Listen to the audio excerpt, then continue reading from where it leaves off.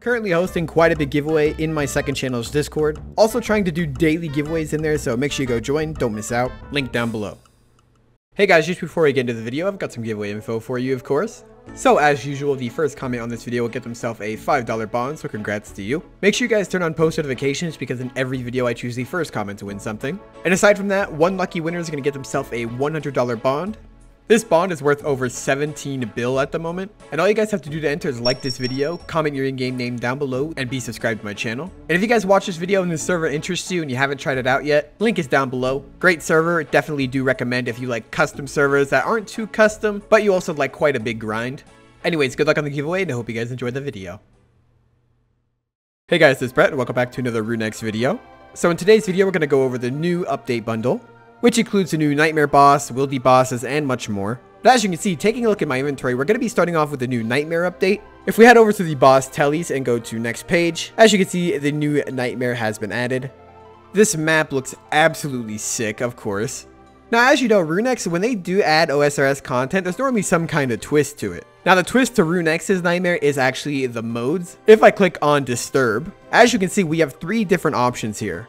We have global, which is completely public and allows up to 50 players at once. You have the party mode, which is for instances for up to 5 people. And then you have the Night Terror, the hardcore version, which is unlocked after 100 Nightmare kills and gives you better drop rates and drops. Now the death mechanics here at the Nightmare are actually different than other places. So for example, if I go to Disturb, and let's say I want to go in Global, regular mode, it'll say if you die, most of your items go to a death coffer, and you have to pay GP to get them back.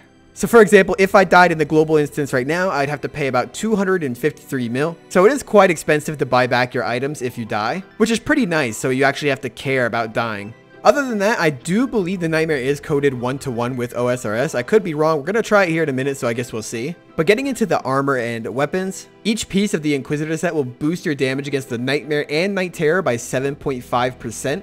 On top of this, it also has a set effect which gives you 10% damage and accuracy with maces, bludgeons, hammers, and mauls.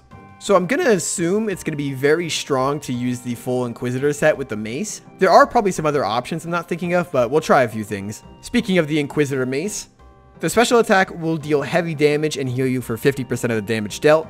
As I said, we'll test that later. Here we have the Inquisitor Blessing. You can only obtain this from the Night Terror, and it's really good because it goes into your arrow slot and you can still wear the full Inquisitor set. Now this also increases your mace, small, bludgeon, and hammer accuracy and damage by 10%. Now I do believe this also stacks with the Inquisitor set, so that means you can get a 20% damage boost with weapons like the mace, maul, etc. Now we're going to be taking a look at each of the Nightmare staffs. I don't have complete max mage, but I'm pretty close, I believe. Looking at a 73.5% magic damage boost, which is absolutely insane. So first we're going to start off with the Eldritch Orb. You use it on a Nightmare Staff to make it the Eldritch Staff. I also don't have Rigor or Augury on this account, so I can only use Mystic Might to show these max hits, but using the Eldritch Staff, the special attack will cost you 75% of your special and steals the foe's prayer. When using it in PVM, you have a 1 in 5 chance to restore your prayer by 10% of the damage dealt. Not gonna lie, that sounds really, really bad. A 1 in 5% chance for only 10% back and it costs 75% doesn't sound that good, but uh, looking at the damage, we can hit a 58 apparently. And for some reason it says it restores my prayer by 27. It says it restores the prayer by 10% of the damage dealt, and I only hit like a 40 something, so why did I get 27 prayer? Maybe they've buffed it since they did the update, but on the post it says 10%, I'm not sure. Next up is the Volatile Staff. So this uses 50% of your spec and deals heavy damage, and PVM has a 1 in 5 chance to deal an extra 65% damage crit. Now, depending on what the max hit is, that sounds absolutely busted. I'm not potted or anything like that, and with the spec on a dummy, we can hit up to an 82. Now consider that's without a critical strike. Okay, I tried to get a crit strike quite a few times and it didn't work, so we're just gonna move on. Next up is the Harmonized Staff. This will increase your attack speed by plus 1, but will reduce your damage by 15% in the modern spellbook. Now I assume this is the kind of counteract people using like Fire Surge with the Tome of Fire Eye and whatnot. So as you can see, if I take the staff off, and let's say I just use uh, Fire Wave a bunch of times.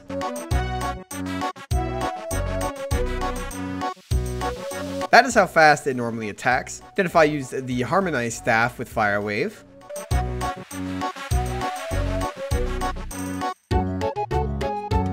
It makes quite the difference in speed. Now, I assume the best way to use this is a Tome Fire Eye with Fire Surge. I didn't have any Wrath runes, so I couldn't really test that, but I'm sure you guys get the point. Now, the last staff is the Terror Staff. You can only get this orb from the Night Terror instead of the other ones. You can only get this orb from the Night Terror, and not the normal Nightmare bosses. It's a lot stronger than a normal Nightmare staff, costs 50% special attack to use and deals heavy damage. Now the spec will also heal you and drain your enemy's defense, so I believe you can use this like a Dragon Warhammer. I assume it works in PVM, I don't see why it wouldn't. But taking a look at the spec, that looks pretty cool, and I can apparently max an 82. And on top of that, I drained my enemy's defense and restored my HP by 41. I don't know if that's a flat 41 reduction in their defense, but if that is, that sounds really busted. And it's actually really cool to see a viable mage spec weapon in PVM. Because mostly you see people switch to the same spec weapons over and over on most servers. Or there's always just that meta spec weapon that everyone uses. So it'd be really cool to see an actual mage switch that is actually viable. Now there also are nightmare pets, but it doesn't say if there's effects or not on the forums. I don't know if that was an accident or what, but either way, they look pretty cool.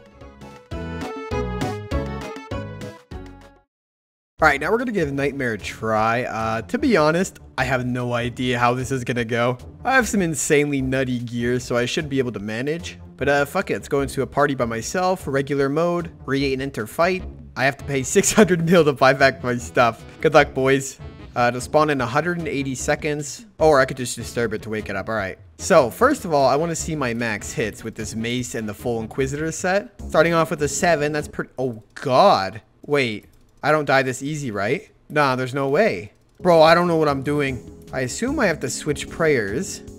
That's range. That's range, I think. All right. Oh, what is that? What's happening? He's a groundhog. Okay, I go to the flowers. I go to the flowers. Oh, I just hit a 92. What the fuck? Dude, I'm not a PVMer. What's happening? That should be mage. There we go. I'm getting the hang of it. Okay, once you get used to the animations, you kind of can understand what he's doing. Uh, okay, I guess I just move. All right. Let's see what I hit with the spec. 21. Oh, come on. 26. Bruh. I don't know when the pillars are going to spawn. Oh, he's being a groundhog again. Go for another spec. And I hit a zero. This thing's really inaccurate, it seems like. And the totems haven't spawned yet. I'm kind of confused. But I think we're about to get our first kill, unless it's going to phase. Oh, wow. That was just first phase? Okay, yeah, this boss is pretty hard. Okay, so after realizing I wasn't going to be able to solo it, I asked Danielle if anyone wanted to duo with me or do it in a party. And shout out to Combat Born and Cup of Tea. They actually came and trioed it with me. And some tips and mistakes I want to mention is you don't need to bring mage. All you need is melee and it is advised to bring your best crush accuracy. And of course, don't forget to bring a defense reducing spec weapon like a Statius Warhammer or Dragon Warhammer, stuff like that. Also, elixirs are very important. I brought an Infernal Elixir for this kill and my hits went up drastically. So as for tips or a mini guide on how to do the Nightmare, first of all, this is an end game boss, so I wouldn't even attempt this without really good gear. But as for the attacks, here's the melee attack. Here is the ranged attack. And here's the magic attack. What I advise is you can't pray melee, and then when you see the range or mage animation, you switch to that style. It seems that Mage and Range give you a little bit more time to react, and the animation is more like distinguishable from the melee one, in my opinion at least. You can flick Soul Split, but I honestly don't even recommend it because Soul Split is nerfed in the Nightmare. So even if you see me hitting 100s, I only get healed for a couple health, so it's not even worth it because if I miss a prayer, I'll get hit like a 40 and then barely heal anything. But after each phase, you're going to want to kill the pillars. You don't need mage for this, as I said. Just sit and auto attack them with your best weapon. Avoid the corners with the dead flowers. Stand in the ones with the grown flowers. I believe on phase 2 it will impregnate someone randomly. And if this is done to you, all you have to do is drink a sanfew. Another special attack it can do is the husk spawns. These will freeze you in place. All you have to do is kill them and you should be good to go. The next one will spawn these little spores on the ground. All you have to do is stay away from them because if you don't, it'll actually make it so you can't run. I'm not sure if they damage you, I don't remember fully, but long story short, avoid them. The next one is the Sleepwalker spawns. If you see these around the room, make sure you kill them as soon as possible. The more that are alive at the time that they reach the nightmare, the more she will heal for and the more you'll get damaged for. Now the last special attack is the sweep. I don't know if you want to call it a sweep, a swipe, whatever, but it'll spawn on either the east or west side of the room or the north or south side of the room. If it goes north to south, you want to run east or west. If it goes east or west, you want to run north or south. If it does pass through you, you will take a lot of damage. So make sure on the third phase you are always above 80 plus HP.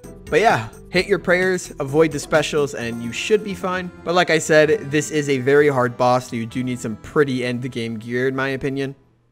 But yeah, that's going to be it for today's video. There were a ton of bug fixes, QOL additions, and other random changes. If you want to check them out, make sure you check out the forums. link it down below. They also did some really cool stuff such as the enchantment chest interface rework. As you can see, it's a lot more clean, very sorted. You can check out armor, weapons, capes, all individually. And I guess you can even search. Type in cape, for example, you can see all the capes. But yeah, really well done. If you guys did enjoy this video or it was helpful, please leave a like, subscribe if you're new. And if you want to come check out Runex, join using the link down below. It is a referral link, so it helps me out a lot when you guys click that. Anyways, once again, thank you guys for watching, and I will see you in the next one.